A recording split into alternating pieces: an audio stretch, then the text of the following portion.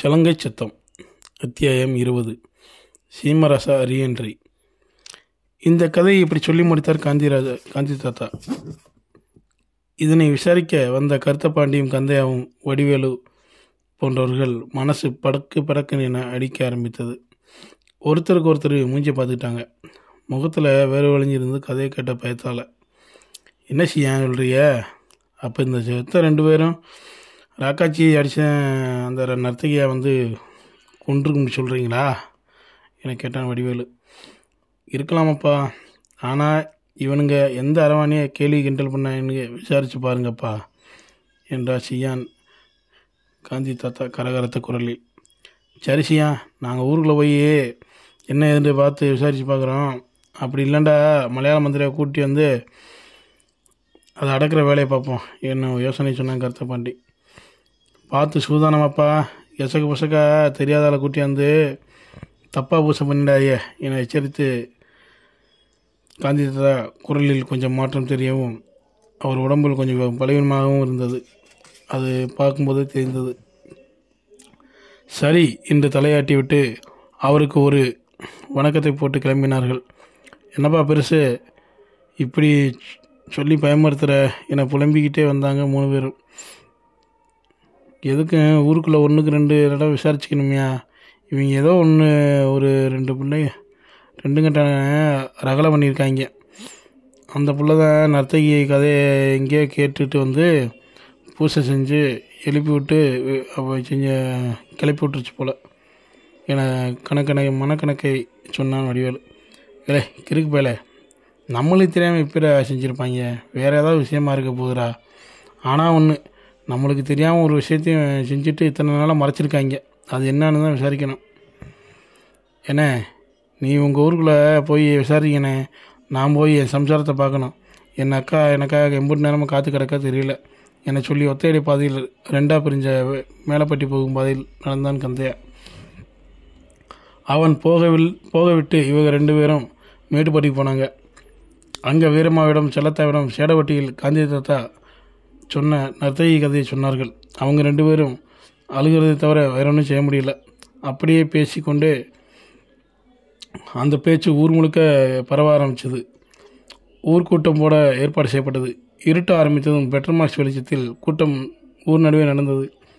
ஊரே நேற்று நடந்த விஷயத்தை பற்றியும் முன்னாடி நடந்த விஷயத்தை பேசி ஒன்றா சேர்ந்து வரி போட்டு காசு வசூல் செஞ்சு மலையாள மந்திரவாதியை எப்படியாவது கூட்டு வந்து நர்த்தையை அடக்கிற வேலையை பார்க்கணும். அந்த ஒத்தச்சி கிணறுக்குள்ளேயே வச்சு மீண்டும் புதைக்கணும் என முடிவு சொன்னாங்க.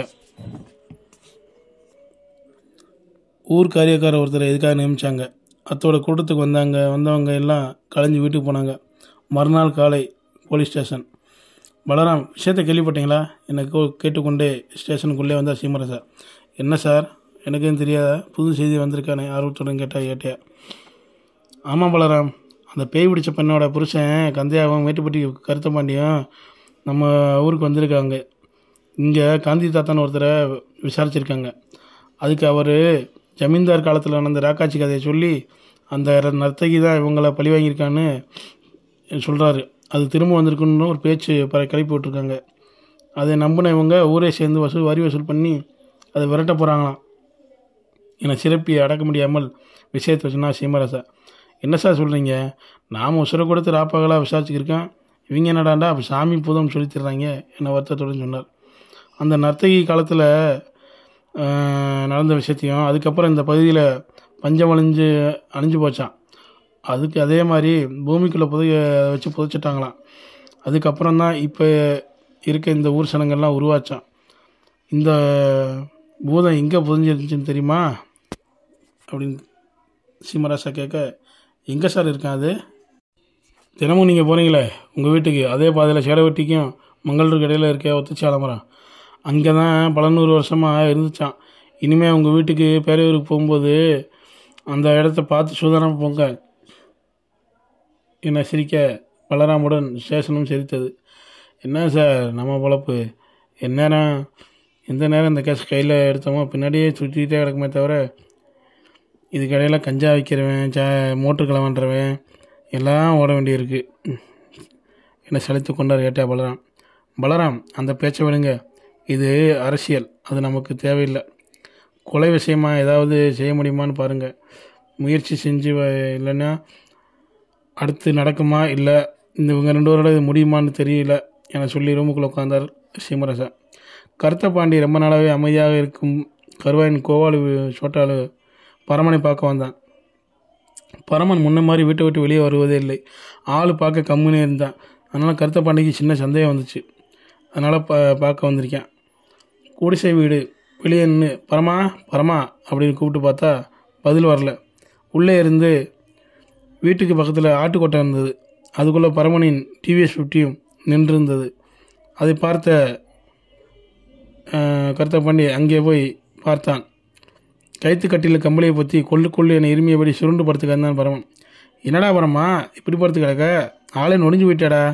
உன் சோட்டால் கருவாயம் போனதுக்கப்புறம் உன்னை கண்ணிலே பார்க்க முடியாடா உனக்கு ஏதாவது தெரியுமாடா? அது அவன் தப்பு தந்தா செஞ்சானடா? சொல்லுடா. இப்போ ஊரே சேர்ந்து அந்த ஆளுக்கு நடந்த விஷயத்துக்காக ஒத்தச்சைக்கு ஆலமரத்துக்கு பூஜை பண்ணுறதா பேசிக்கிறாங்க. நேற்று ராத்திரி கூட்டத்தில் இது நடந்துச்சு. உனக்கு தெரியுமா தெரியாதா? எனக்கு கரெக்டாக கருத்தை பாண்டி இல்லை எனக்கு எதுவுமே தெரியாது. என்கிட்ட எதுவும் கேட்காத. நானே மேலுக்கு மு- கிடைக்கேன். கிடக்கேன் வந்து இப்படி கேட்டு மேலும் தொந்தரவு பண்ணாத. என்னை கொல்லு கொல்லுன்னு மீண்டும் இடியபடி அவனை விரட்டி விட்டேன். என்னவோ போங்கடா உங்கள் நல்லதுக்கு தான் கேட்குறேன். அப்புறம் பார்த்துங்க இன்னொரு கொலை நடக்குமா என்னன்னு தெரியல. நீ ஏதாவது துப்பு சொன்னண்டா உதவியாக இருக்கும். அதுக்கு தான் வந்து உன்கிட்ட கேட்டேன். என்னை சொல்லி கொண்டிருக்கும்போதே பேசாமல் போயிரு என்னை சைகையால். சொல்ல கையெடுத்து கும்பிட்டு விட்டு பீடியை பற்ற வைத்த தான் பரமன் கருத்தப்பாண்டி மனசுக்குள்ளே உறுத்த ஆரம்பித்தது. இவனுக்கு விஷயம் தெரிஞ்சிருக்கும் போல ஆனால் என்னன்னு தான் தெரியல. என்கிட்ட சொல்ல மாட்டேங்கிறான். இருக்கட்டும் தண்ணிக்குள்ளே போட்ட கொசுவு என்னைக்கு இருந்தாலும் வெளியே வந்தால் நான் பார்த்துக்கிறேன்டி என கிராமத்து செலவடை சொல்லிக்கொண்டே நடந்தான். தூரமாக போக போக பரமனின் இருமல் சத்தம் கொஞ்சம் குறைய ஆரம்பித்தது. அதற்கு அடுத்த நாளே காலையில் சேடப்பட்டியில் அந்த காந்தி தாத்தா செத்து போனால் தகவல் வந்தது. இதை கேள்விப்பட்டதும் போலீஸ் விசாரணைகள் இப்போ சுற்றுவட்டாரத்தில் யார் செத்தாலும் சொந்தக்காரங்களை சொல்கிறாங்களோ இல்லையோ போலீஸ் ஸ்டேஷன் சொல்லிடுறாங்க. மேட்டுப்பட்டியை போல் எந்த அசம்பாவம் நடந்துடக்கூடாது. முக்கியமாக சேட வீட்டில் இருந்து மேட்டுப்பட்டி போகும் வண்டி ஒத்த வட்டி ஒத்தடி பாதையில் அங்கங்கே போலீஸார் போடப்பட்டிருந்தார்கள். இங்கே அடிக்கடி வேறு எதுவும் சத்தம் வருதான்னு காதை தீட்டி காத்திருந்தாங்க. ஆனால் எந்த அசமாதம் நடக்கல. நல்லபடியாக காந்தாத்தா அடக்கம் முடிஞ்சது. போலீசார் நிம்மதி பெருமூச்சு விட்டார்கள். புல்லட்டில் வந்து காவலுக்கு நின்ற போலீசிடம் இரண்டு முறை விசாரித்து நிலவங்களை தெரிந்து கொண்டார். அவர் பின்னால் பலராம் உட்கார்ந்திருந்தார். அடக்கம் செய்த பிறகும் ஊரில் இருந்தவங்க யாரும் காணாமல் போகல என்று உறுதியாக சொன்னார். சார் பரவாயில்ல சார் ஒன்றும் நடக்கலையே. அந்த ரெண்டு பேர் மட்டும்தான் டார்கெட் போல என்றார் பலராம். அட சும்மா இருங்க பலராம். ரெண்டு அளவும் ரெண்டு கொலையும் எங்கே நடந்துச்சு தெரியுமா? மேட்டுப்பட்டியில் சேடவட்டில் இல்லையே.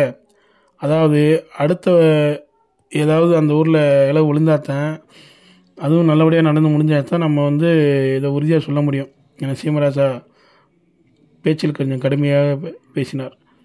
அதை புரிந்து கொண்டு அப்படியே அமைதியான பலராம். சில நாட்கள் கழிந்தது ஊருக்குள்ளே வரி வசூல் தீவிரமாக நடந்தது. ஏற்கனவே பார்த்த மந்திரவாதி பேச்சும் செயலும் திருப்தி இல்லை என அடுத்தடுத்து மந்திரவாதிகளை தேடிக் கொண்டிருந்தனர். ஊரில் வரி வசூல் செஞ்ச கொஞ்ச காசில் கேரளாவில் சுற்றி பார்த்ததும் நல்ல ஹோட்டலில் சாப்பிட்டும் வெளுத்து கட்டினால் மந்திரவாதி விசாரிக்க போன ஒரு முக்கிய காரியக்காரர்கள். அது ஒரு மதிய நேரம். மேட்டுப்பட்டி கிழக்கு தெருவில் ஓட்டு விட்டு மாயக்காய் கிளவி செத்து போய்விட்டதா சொன்னாங்க. அவங்க பிள்ளைகள்லாம் அம்மாவை நல்லா தூக்கணும்னு முடிவு பண்ணாங்க. ஆனால் ஊருக்காரங்க ஏற்கனவே ரெண்டு பேர் நல்லா தூக்கி தான் அன்னைக்கு ரெண்டு பேர் ஆள் ஆள் காணாம போய் செத்து கிடந்தாங்க. அதனால் வேண்டாம்னு சொன்னாங்க.